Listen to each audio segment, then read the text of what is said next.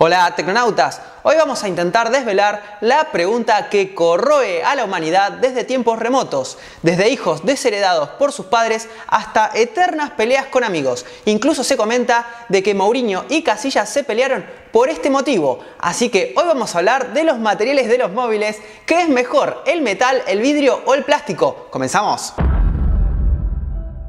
Estamos muy contentos, hemos superado los 50.000 suscriptores, lo que significa, por ejemplo, que estaríamos llenando muchos de los estadios conocidos, así que es impresionante. Estamos muy contentos y muy agradecidos contigo por apoyar a este canal. Y realmente eh, queremos festejarlo, celebrarlo, celebrarlo haciendo una ronda de preguntas, pregunta a Tecnonauta y bueno, puedes preguntar lo que quieras. Lo puedes hacer aquí mismo en este, en este vídeo. También lo puedes hacer en nuestras redes sociales, en Google Plus, en Twitter y en Facebook. Así que esperamos tus preguntas y apenas podamos las vamos a responder. Pero vamos a lo importante porque realmente es un tema que, eh, bueno, ya siempre se comenta, no tanto en los blogs, no, se habla mucho en los blogs, cuando estuvimos averiguando no encontramos mucha información, pero sí en los comentarios de los blogs está toda la gente loca siempre preguntando y discutiendo sobre qué material es mejor, que esto, que el otro, así que realmente vamos a intentar poner algunas cosas en claro porque realmente a medida que lo fuimos investigando nos dimos cuenta de que hay cosas que son muy interesantes. Así que comenzamos hablando, por ejemplo, del precio de los eh, materiales, ¿no? Aquí tenemos, como ya dijimos, el plástico, el metal y el vidrio. Y aquí el más económico de todos, sin lugar a dudas, es el plástico, con el policarbonato por el frente, que es el material que principalmente se usa, eh, seguido por el vidrio, que es, por lo general se usa un vidrio del tipo Gorilla Glass, ¿no? que realmente, bueno, por ejemplo, está en el, en el Z2, también está en el Nexus, en el anterior Nexus, ¿no?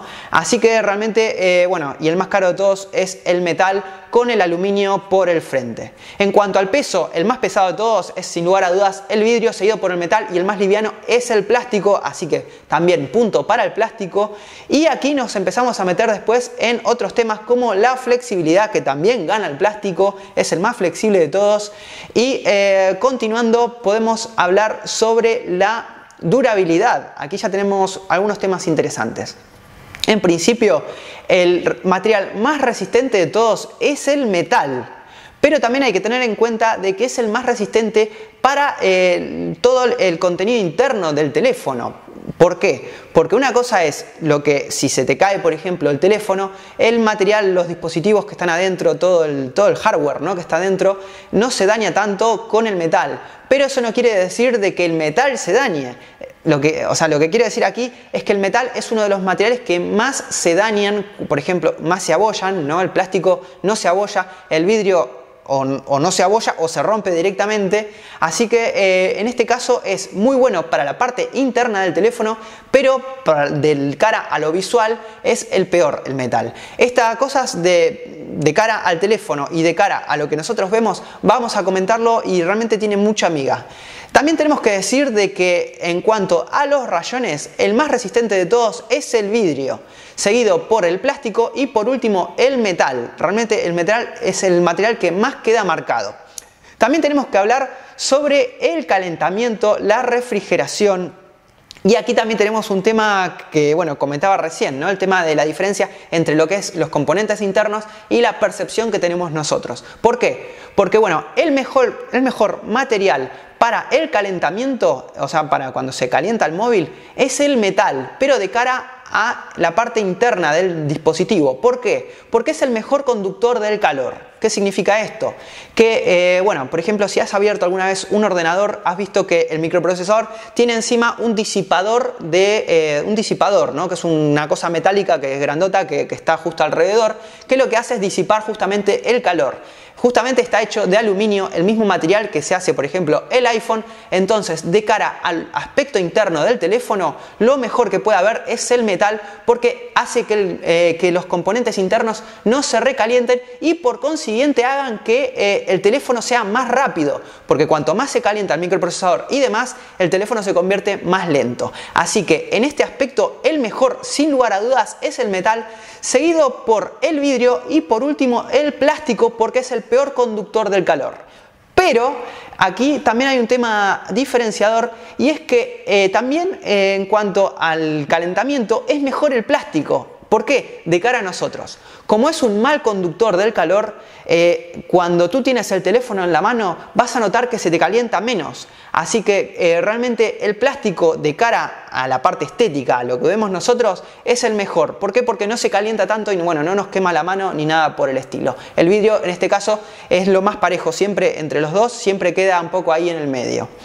Eh, por otro lado, otro tema peliagudo que realmente a mí me encanta, o sea, realmente me llama muchísimo la atención, es el tema de la recepción de señal. Y aquí hay ríos de tinta escritos que realmente vale la pena comentar porque sin lugar a dudas el peor material para, eh, para, la recepción de la antena, bueno, todo lo que es el 3G, el 4G y la red, el Wi-Fi, el GPS y demás, el peor de todos es el metal y más que nada eh, esto es así cuando eh, tenemos, por ejemplo, dentro de un dispositivo la antena. Por lo general las antenas se ponen dentro del dispositivo, pero eh, cuando hay metal, por un efecto llamado algo así como la jaula de Faraday, que es básicamente lo mismo que cuando, por ejemplo, estamos con el teléfono y entramos en el ascensor, que perdemos señal, o si has seguido un poco el tema este de la privacidad con Snowden y la NSA, que Snowden le decía a toda la gente para que no los espiende que pongan sus teléfonos directamente en la nevera, bueno, básicamente el metal hace, genera una jaula que no permite salir a la señal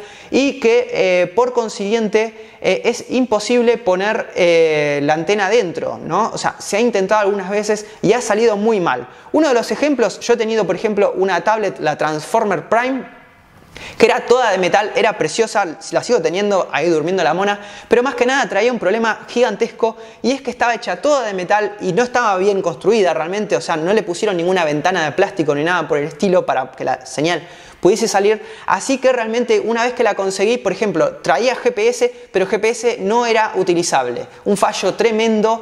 Eh, también la señal del Wi-Fi es extremadamente leve, entonces eh, no se puede coger muy bien, anda muy lento cuando navegas por internet.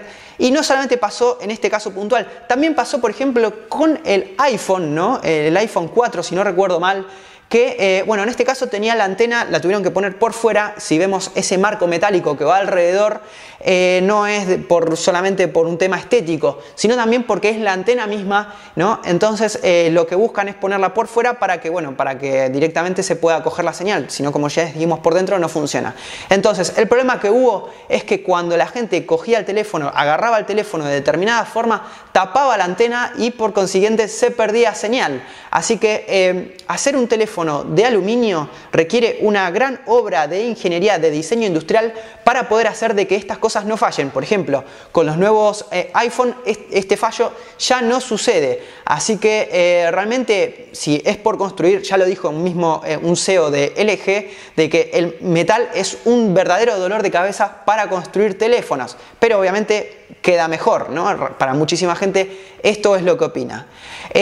así que bueno, el peor material en este caso para la salida de la, antena es el metal, seguido por el vidrio que eh, queda ahí también en el medio y el mejor en este caso es el plástico. Otro de los temas que más discusiones y polémicas generan es el tema de la calidad de los materiales, las sensaciones en mano, eh, también el aspecto estético, ¿no? Y aquí tenemos un claro ganador que es el metal, obviamente, el aluminio con su principal referente, el principal teléfono hecho de metal, que podemos decir que es el iPhone, el iPhone 5, el 5S también, y que verdaderamente tienen una calidad suprema, son verdaderamente premium y que, eh, bueno, poco más se puede decir en cuanto a la calidad misma del material, pero sí hay detractores en este aspecto que dicen de que que obviamente como es un material que se raya tanto y que también se abolla, mucha gente termina poniéndoles eh, protectores, ¿no? carcasas y demás, que incluso terminan siendo de plástico, ¿no? Entonces, ¿para qué quieres tanto material si al final no lo terminas sintiendo en tus manos ni viéndolo? Así que realmente es un punto a tener en cuenta. Otro material eh, en cuanto a calidad eh, seguido al metal es el vidrio, la verdad es que es un material que está muy bien, quizás se le quedan un pelín marcadas las huellas, las huellas de nuestros dedos, pero que realmente está muy bien y que tiene como principales teléfonos al Sony Xperia, el Z2, el Z3, que verdaderamente eh, tienen una sensación bastante premium. Por último, ahí abajo del todo nos encontramos con el plástico que tenemos que decir que verdaderamente los teléfonos de plástico en sí tienen una sensación bastante eh, fea, ¿no? No, dan, no, dan, sensación premium. Eh, también eh, se le quedan más los dedos marcados, incluso cuando te suda la mano o lo que sea, sientes como esa, eso que, que, bueno, no queda nada bien, ¿no?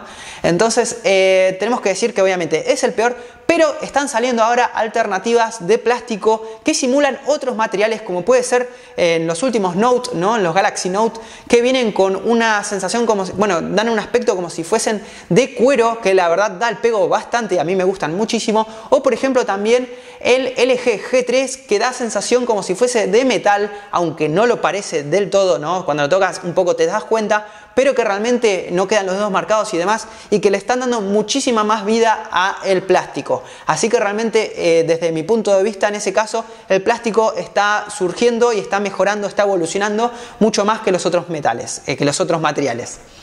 Eh, bueno, nada más para decir por el momento, espero no olvidarme nada porque siempre eh, algún aspecto te olvidas, para eso seguramente aquí estará todo el mundo discutiendo y diciendo lo que quiera, ¿no? Así que esperamos tu comentario y alguna observación que te parezca, también la esperamos aquí mismo. Eh, por lo demás, decir de que si te ha gustado este video, dale a me gusta. Si no nos conocías, suscríbete a nuestro canal. Más info en nuestra web tecnonauta.com. Comparte este video con amigos y nosotros nos vemos en el próximo video.